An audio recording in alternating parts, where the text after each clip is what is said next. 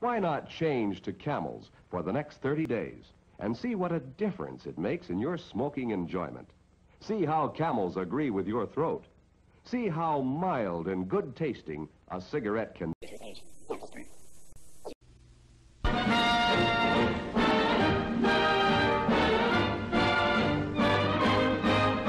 We are sorry to interrupt your show with breaking news. A new disease called SARS has emerged. This may be the disease that ends the world as we know it. The causes of SARS, also known as severe acute respiratory syndrome, have been investigated and have been understood to be the following. Caused by a coronavirus, a genus of Coronaviridae family that causes respiratory infections in humans. It is a single-stranded RNA virus affecting humans and animals. Other coronaviruses are known only to cause the common cold. It is hypothesized that the virus evolved from exotic caged animals kept in China, such as the Himalayan palm civets and raccoon dogs, and it seems that individuals working in close contact with confined species have tested positive more often. Adults are more easily infected than children, especially women aged 55 and older. The patients have many symptoms when they are infected by SARS. Reporting from the front lines, a reporter was able to acquire the following account. One of the guests at the same hotel, a 48 year old Chinese American businessman, became ill with a high fever, dry cough, and mild sore throat, and was admitted on February 26 to the French hospital in Hanoi. He later was evacuated to Hong Kong, where he died. If you have or have observed the following, please report to a nearby health center. A temperature of 38 degrees Celsius or higher, cough, shortness of breath, difficulty breathing, or hypoxia, radiographic evidence of pneumonia, respiratory distress syndrome, autopsy findings consistent with pneumonia, or respiratory distress syndrome without an identifiable cause. The epidemic's beginning are shrouded in controversy and mistakes. It seems to have started in the Guangdong province of China in November 2002. Despite the disease spreading, the national official did not take the steps to inform the World Health Organization until February of 2003. The delays in the control of the epidemic made its spread easier and the international response slow. The regime has drawn great criticism. The nation responded by issuing an apology. But that was not the only human error leading to the disease's spread.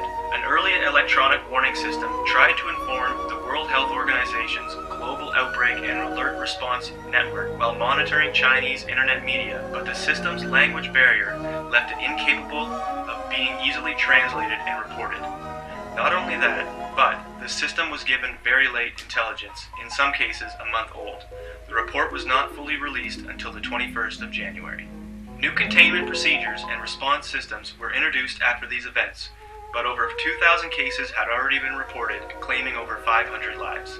This is not where the mistakes ended, however. The next wave of mistakes came like a riptide. After the death of James Earl Salisbury, an American, the media attention increased and allowed the report of Jiang Yanyong to emerge. The report contained accusatory overtones claiming that the Beijing military hospitals were undercounting their number of cases. The Chinese officials, responding to media pressure, began investigations that revealed a deeply flawed set of problems plaguing mainland Chinese healthcare. To Canada, when a 78 year old woman returned to Scarborough, Ontario, after visiting in Hong Kong, where she came into contact with an infected person. Upon returning to Scarborough, the woman developed symptoms and was taken to the hospital. Before the woman was taken to the hospital, she passed the disease on to her son. Upon arriving at the hospital, she waited in the waiting room before being assessed, where the airborne disease was allowed to spread to other individuals in the waiting room.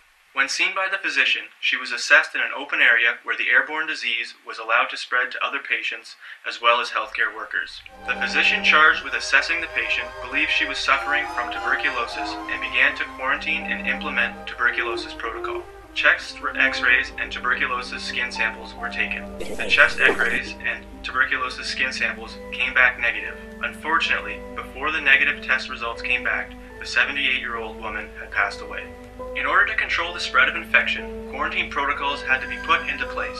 Through the two infection stages in Toronto, over 15,000 Torontonians were instructed to participate in voluntary quarantine.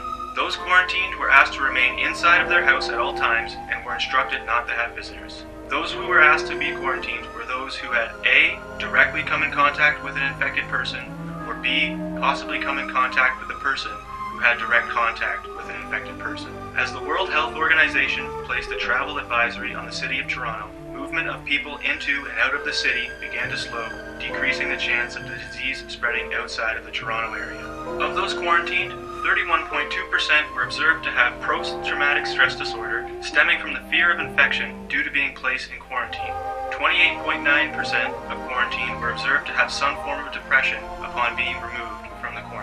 Toronto suffered particularly when the epidemic hit, proving the nation to be completely unprepared. Health facilities were rapidly overwhelmed and overcrowded, with the staff desperately trying to get away from the outbreak, going as far as being fired. The Toronto residents found themselves in dire straits as they could not attend their jobs and were left in their houses in quarantine, unable to work and pay for their bills. The city itself also deeply suffered in millions of dollars as the World Health Organization declared a travel advisory that cut tourist attraction of the region. Overall, 438 cases happened, leaving 43 dead in their wake, occurred to the detriment of the Chinese government. Reports poured in demanding to have access to the Hong Kong drainage system, a system that was deeply flawed and seemed responsible for the spreading of the disease and was proved to be dysfunctional when the officials reluctantly released the information. Treatment has been made available. Sadly, no FDA approved antiviral method of treatment exists. To date, current clinical trials focus on relieving symptoms. Possible treatment mechanisms have been studied since 2003, but no drugs have been considered for preclinical trials. The mechanism is the inhibition of enzyme 3CL-Pro, known to be essential for the viral replication and infection. During the 2003 Hong Kong and Toronto outbreaks, corticosteroids and ribavirin were used. The corticosteroids were found to be somewhat effective, though it was highly dependent on case severity and there were side effects associated with higher doses. Ribavirin was minimally effective, regardless of the dose, and its use was discontinued.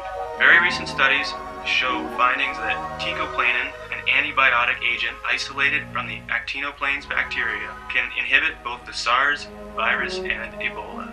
In Canada, the lab responds to identifying the causative agent involved an alteration in their diagnostic approach. The National Mi- Microbiology Lab in Winnipeg became a focal point of lab results and biological specimens. The centralization increased efficiency, but data management infrastructure was not in place to handle the epidemiological needs associated with the outbreak. Retrospective analysis suggested using lopinavir and integrated Chinese and Western medicines that were associated with improved outcomes. In vitro and animal studies have suggested that interferon and monoclonal antibodies might have some effects on the disease. However, data from randomized controls trials are lacking. All of our patients have been previously healthy with no coexisting conditions identified as poor prognostic risk factors. An enormous physical and emotional challenge to frontline healthcare workers throughout the world in late 2002 through to mid 2003. A large percentage of patients, many being healthcare workers themselves, became critically ill. Unfortunately, clinicians caring for these individuals did not have the advantage of previous experience or research data on which to base treatment decisions. As a result, at least early in the outbreak, a best guess approach and anecdotes drove therapy. In many centers, systemic steroids, which carry many potential downsides, became a mainstay of therapy. In this issue of critical care, two groups that have frontline experiences of SARS debate the role of steroids. Let us hope and pray together that we never have the patient population needed to resolve the questions these two sides raise. The 21st century science and communication systems helped in rapidly identifying the SARS virus and providing continuously updated information. Yet it was the 19th century public health tools of case detection and isolation, contract tracing, quarantine, and infection control which resulted in the successful containment of SARS. The measures implemented by the countries closely resembled each other and were generally in line with the World Health Organization recommendations. However, differences among the countries were seen in the timelines of implementations and in the mode and extent to which the individual countries went to apply or enforce control measures. Treatment and control guidelines developed and implemented by the Guangdong authorities in January 2003 were good enough to execute elsewhere. Due to different legal and political constraints, this information was not shared with other Chinese provinces and the rest of the world until early April 2003. This facilitated national and international spread and forced affected regions and countries to learn from their own experiences and develop their own measures. After the containment of the disease was accepted in July of 2003, permanent resolutions were made globally to prevent the disease and other cases from ever occurring. Thank goodness this seems to have passed. Thank you, and you may now return to your program. Let's all go to the lobby. Let's all go to the lobby together. We are sorry to interrupt your program with breaking news. A new disease called Ebola has emerged. This may be the disease that ends the world as we know it.